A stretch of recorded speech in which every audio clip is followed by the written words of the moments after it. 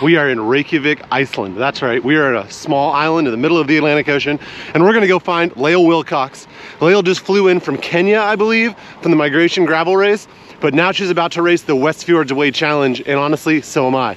Four days, gravel stage race in Iceland in the West Fjords. Let's go find Lael Wilcox as she gets her bike ready and see what makes her faster.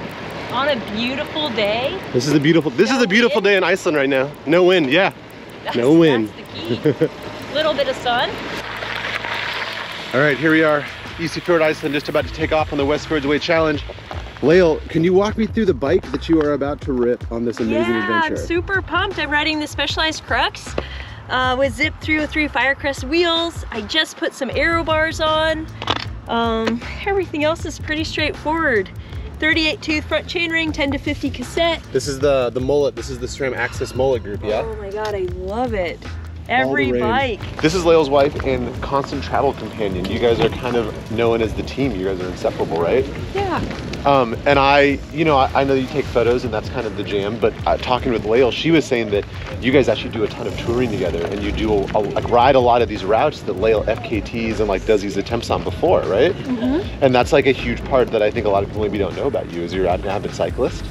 I am, yeah, whenever we have time, especially if we go somewhere where it's not maybe the easiest to get to, like Iceland or Kyrgyzstan, we Yeah. love to have the chance to tour beforehand, uh, just so Lael could kind of see the terrain and see where she could get food and kind of just experience the people and the culture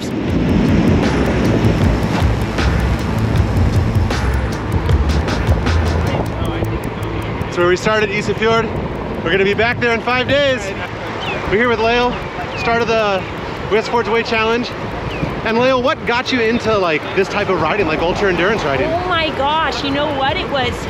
I was injured from running. I used to be a runner. Yeah, and I was so frustrated that I couldn't run that I started borrowing my mom's road bike and riding as far as I could on my two days off. I was a bartender and I was like, I was in Alaska and Yeah. I was like, gonna take the train to Seward and ride home. that's crazy. 127 miles.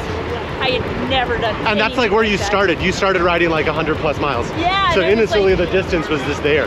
I was just like, I just want to see if I can make it. Yeah. And my mom's like, I'll pick you up if you have a problem. Yeah, yeah, mom's got your And back. was like, no way, I'm doing this. And I like took the train. I had a pair of like corduroy pants and shorts, Yep, and I didn't have any bags, so I just threw them away. that's how you do it. And then like 10 hours later, I was like, I'm freezing. and I bought a sweatshirt at a gas station. It was like the deadliest catch. Yeah, And that was it. And I was hooked, you so hooked after that. pumped that I made it. I had so much fun. And then I just kept riding as far as I could.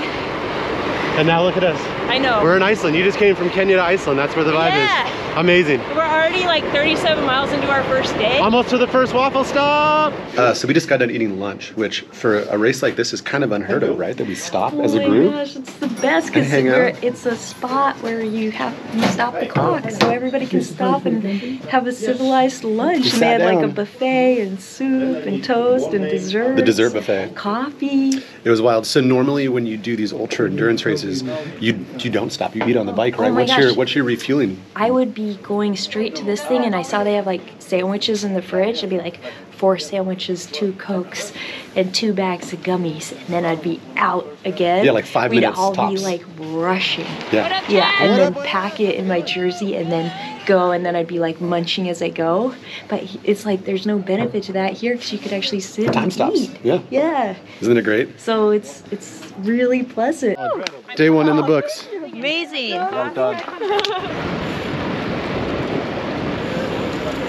Got a good night's sleep last night? I did. So normally when you do ultras, are you someone that likes to get their sleep or do you like to push through? Like what's your sleeping jam? I really like sleep, but I usually keep it to about four hours. for the Four longer hours. Stuff. For the longer stuff. So if you're doing something over a week, because your body kind of has to recover, right? You have to sleep a bit or you'll lose time in the long run. All right, one of the coolest things about this is that you uh, you don't have to filter the water. There's just water everywhere. So Look at that. I took my shoes off. Lael just straight went for it. All right, just finished the West Fjords Way. That was amazing, Lael Wilcox and Rue. Thanks for following along. Make sure to like, make sure to subscribe. Until next time, making you faster.